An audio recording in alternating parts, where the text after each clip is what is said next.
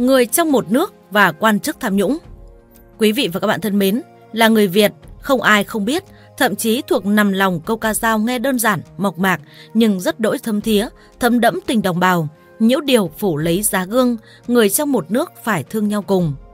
Lại có thành ngữ yêu nước thương nòi, ai nói yêu nước mà không biết thương nòi, thương yêu những con người cùng nòi giống với mình thì chỉ là yêu nước trên đầu môi chót lưỡi, làm gì có chuyện yêu nước chung chung, miệng nói yêu nước mà lại đi làm hại đồng bào của mình. Không cần lý luận trừu tượng, dài dòng, những câu ca dao tục ngữ thành ngữ kia đã ăn vào máu, trở thành chân lý đương nhiên, thành luân thường đạo lý thông thường và phổ biến với người Việt. Thế nên, khi đọc những cái tin gần đây như hai cựu Thứ trưởng Bộ Ngoại giao bị cáo buộc nhận hối lộ vụ chuyến bay giải cứu, nguyên cục phó xuất nhập cảnh và hai thuộc cấp nhận hối lộ hơn 40 tỷ đồng, vụ chuyến bay giải cứu, cựu thư ký của Thứ trưởng Bộ Y tế hơn 180 lần nhận hối lộ 42,6 tỷ đồng trong vụ chuyến bay giải cứu, cán bộ sứ quán ăn chia với nhau khi tổ chức chuyến bay giải cứu, người Việt mãn hạn tù từ Malaysia về nước cựu phó giám đốc công an Hà Nội nhận 42,8 tỷ đồng để chạy vụ án chuyến bay giải cứu. Công an tạm giữ bao nhiêu tiền, vàng, đô la khi khám xét vụ chuyến bay giải cứu. Vụ chuyến bay giải cứu, thiếu tướng công an và phi vụ chạy án 61 tỷ đồng. Chuyến bay giải cứu, hậu trường những cuộc ngã giá triệu đô tưởng chỉ có trên phim và rất rất nhiều tin bài khác về đại án chuyến bay giải cứu người Việt từ nước ngoài về nước trong đại dịch Covid-19 thì người đọc, người dân bình thường không thể kiềm được sự xót xa, sừng sốt và phẫn nộ.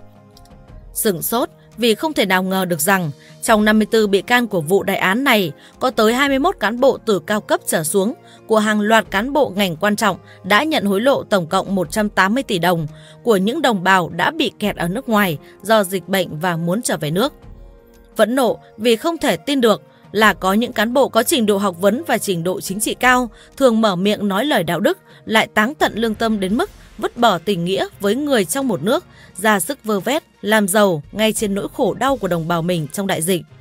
Như cựu nữ cục trưởng Cục lãnh sự Bộ Ngoại giao Nguyễn Thị Hương Lan, người theo báo chí viết là không chơi với doanh nghiệp nhỏ trong việc tổ chức các chuyến bay giải cứu, đã 33 lần nhận hối lộ với 25 tỷ đồng từng nói không chút ngượng ngùng trong một bài trả lời phỏng vấn trên trang Cổng Thông tin điện tử Chính phủ mang tựa đề tiếp tục mở rộng vòng tay đón đồng bào về nước, đăng ngày 22 tháng 9 năm 2020. Các chuyến bay đưa công dân về nước được thực hiện kịp thời, hiệu quả, an toàn, đúng quy định về phòng chống dịch, đồng thời đáp ứng nguyện vọng về nước chính đáng của công dân, phù hợp với nhu cầu về nước và đảm bảo công tác phòng chống dịch bệnh trong nước. Trong bài phỏng vấn này, người đọc cũng đọc thấy lời khẳng định của Bộ Ngoại giao Bộ Ngoại giao khẳng định luôn tạo điều kiện thuận lợi nhất về thủ tục, bảo đảm công khai, minh bạch về điều kiện được về nước, hồ sơ, thủ tục đăng ký về nước đối với công dân Việt Nam ở nước ngoài có nguyện vọng đăng ký về nước.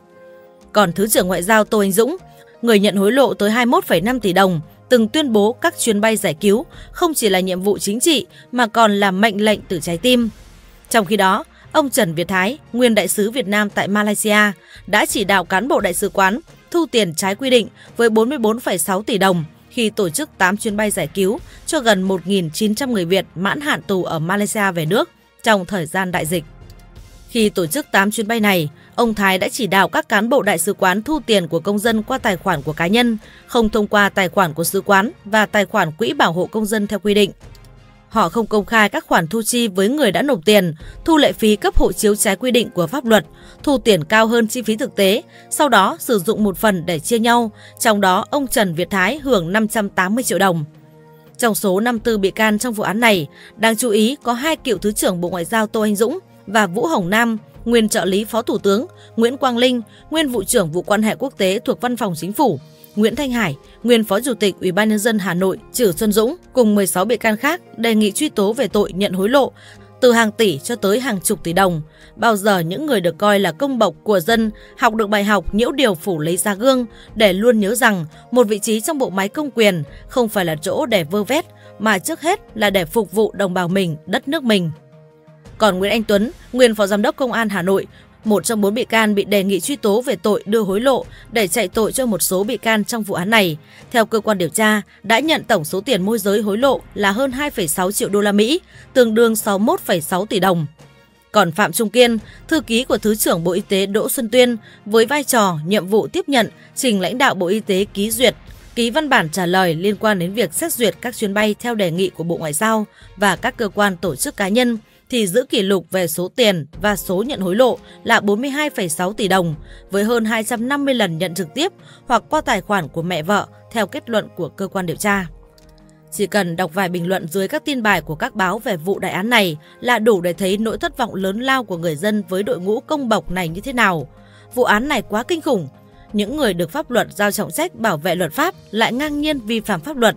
Đọc các thông tin đến vụ án chuyến bay giải cứu, tôi suýt ngất mấy lần với số tiền các ông ấy nhận, không còn gì để nói.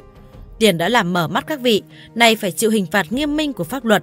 độ rộng và độ sâu của sự thái hóa, hư hỏng trong hàng ngũ được coi là công bộc của dân qua vụ án này cho thấy sự phá sản về đạo đức công vụ cũng như đạo đức cá nhân của họ, cũng như mức hiệu quả của chiến dịch chống tham nhũng, lò vẫn nóng và những kẻ tham nhũng liên tiếp bị đưa vào lò, nhưng tham nhũng vẫn không giảm. Bởi như vậy là chưa đủ, vấn đề không chỉ là giữ cho lò luôn nóng và tống được nhiều kẻ tham nhũng vào tù, mà hiệu quả của chống tham nhũng trước hết và trên hết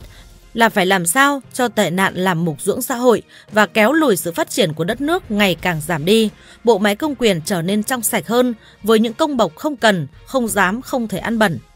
Đại án này cũng như đại án Việt Á cho thấy để bộ máy công quyền đạt đến mục tiêu đó còn phải nỗ lực rất nhiều về mặt xây dựng thể chế, có khả năng ngăn ngừa, ngăn chặn tham nhũng. Còn số 54 bị can trong vụ án chuyến bay giải cứu, trong đó có 21 quan chức, cán bộ của hàng loạt bộ và địa phương nhận hối lộ tới 180 tỷ đồng từ những đồng bào khốn khổ trong đại dịch, được công bố vào đầu tháng 4, lại cũng khiến người ta không thể không liên tưởng đến câu nói đầy hình ảnh về triệu người vui, triệu người buồn của cố Thủ tướng Võ Văn Kiệt nhân sự kiện 30 tháng 4 và bài học về tình nghĩa đồng bào, tình nghĩa người trong một nước. Với những quan chức cán bộ như những kẻ bị khởi tố trong vụ án chuyến bay giải cứu này, người ta không thể không đặt câu hỏi. Bao giờ những người được coi là công bộc của dân học được bài học, nhiễu điều phủ lấy ra gương để luôn nhớ rằng một vị trí trong bộ máy công quyền không phải là chỗ để vơ vét, mà trước hết là để phục vụ đồng bào mình, đất nước mình. Bất kỳ ai để chậm tiến độ sân bay Long Thành đều phải chịu trách nhiệm.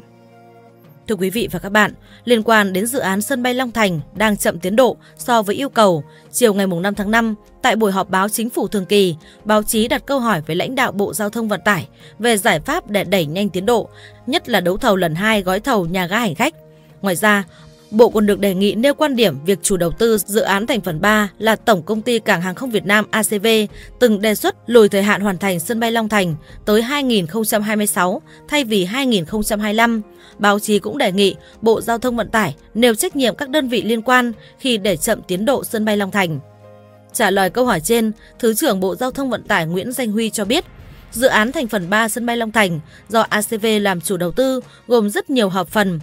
gồm đào đắp 115 triệu mét khối, hiện đã triển khai 66%, hơn 75 triệu mét khối. Theo Thứ trưởng Bộ Giao thông Vận tải Nguyễn Danh Huy, hiện nay còn hạng mục gói thầu nhà ga để đáp ứng tiến độ đã tách thành hai hạng mục là móng cọc và phần thân nhà ga. Ông Huy cho biết móng cọc hiện đã cơ bản hoàn thành, tuy nhiên hạng mục nhà ga rất phức tạp, tích hợp nhiều hệ thống. Theo lãnh đạo Bộ Giao thông Vận tải, có một số vướng mắc khiến việc đấu thầu gói thầu nhà ga hành khách sân bay Long Thành gặp khó khăn.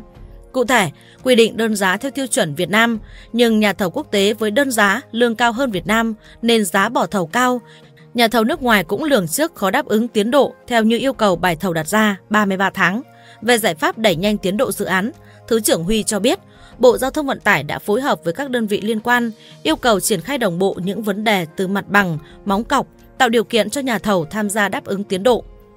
Liên quan đến việc xem xét trách nhiệm các chủ thể liên quan gây chậm tiến độ dự án sân bay Long Thành, ông Huy khẳng định Bộ Giao thông Vận tải đã yêu cầu ACV ra soát từng hạng mục để xác định trách nhiệm của từng chủ thể.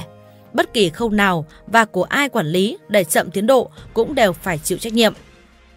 Về việc dự án có lùi tiến độ sang năm 2026 hay không, lãnh đạo Bộ Giao thông Vận tải tiếp tục cho rằng điều này phụ thuộc hoàn toàn vào quá trình và kết quả đấu thầu gói thầu nhà ga hành khách. Hiện, Bộ Giao thông Vận tải đang giao ACV ra soát toàn bộ, báo cáo cơ sở thực tiễn, pháp lý, căn cứ vào kết quả đấu thầu, đàm phán với nhà thầu trên cơ sở tính khả thi để tính toán tiến độ, trên tinh thần không vì đánh đổi chất lượng lấy tiến độ. Thông tin thêm về dự án sân bay Long Thành, ông Nguyễn Ngọc Cảnh, Phó Chủ tịch Ủy ban Quản lý vốn nhà nước cho biết, Vấn đề hiện nay là đẩy nhanh đấu thầu, lựa chọn gói thầu nhà ga hành khách. Bộ Giao thông Vận tải và Ủy ban đang chỉ đạo ACV gia hạn thời gian mở thầu thêm 6 tuần.